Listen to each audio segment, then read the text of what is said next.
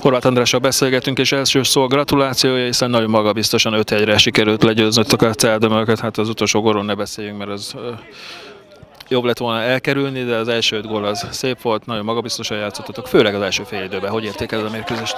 Igen, azt kértem a srácoktól, hogy ö, nagy tempót menjünk az elején, az elejétől fogva. Ö, sajnos a bajnokságban már pórul jártunk egyszer-kétszer, amikor nem tudtunk ö, vezetést szerezni az első fél időben, azokon a meccseken szenvedtünk. De hála Isten, itt úgy gondolom, hogy az első fél idő hízelgő arányú a celdömökre nézve, de második fél idői ö, helyzetkihasználás, vagy itt a lesek, egy-két olyan pontatlanság miatt mérges vagyok, mert több gól is benne volt a mérkőzésben.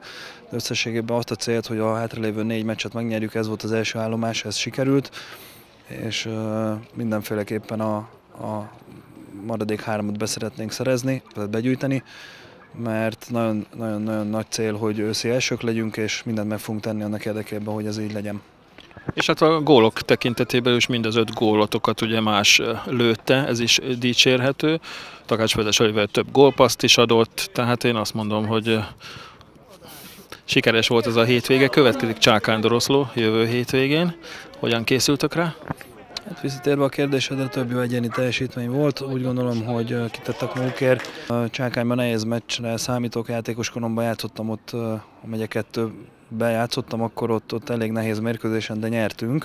Hát nagyon remélem, hogy hasonló lesz a forgatókönyv, de nyilván itt a következő meccsre koncentrálunk, és akkor még marad kettő. Bizony, és a kettő közül november 18-a az igazi megyei rangadó lesz. Terveink szerint ezt is közvetítjük a Sárvár elleni idegenbeli mérkőzés, akár el is döntheti az őszi elsőséget. Én is így gondolom, de előtte még van egy meccs, egyelőre még a Csákány Doroszló van fókuszba, és utána jöhet az utolsó kettő.